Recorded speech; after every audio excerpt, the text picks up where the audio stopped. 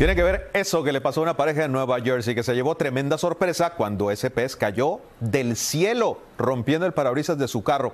Este incidente activó la alarma del vehículo Tesla, dejando rastros de sangre y escamas.